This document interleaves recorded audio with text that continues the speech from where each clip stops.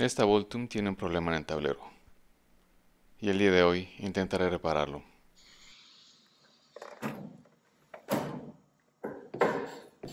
A momentos el tablero se apaga o solo enciende por unos instantes marcando caracteres extraños o incompletos. Comienzo a desarmar todo y una revisión rápida de encableado me indica que la falla se encuentra dentro del tablero.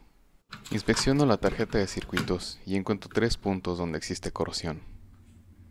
En el integrado principal, al pie de un electrolítico y en un resistor de superficie.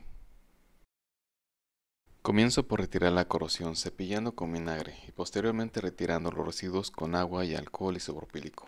Realizo una limpieza profunda sumergiendo la tarjeta en una tina ultrasónica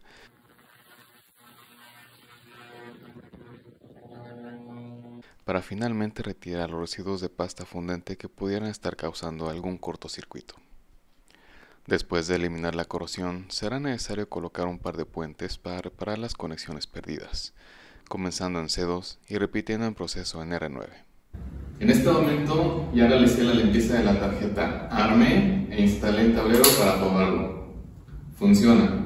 Entonces lo que sigue es prevenir que esta falla se repita de nuevo lo que voy a hacer es volver a desarmar el tablero y recubrir la tarjeta completamente con barniz para alambre magneto.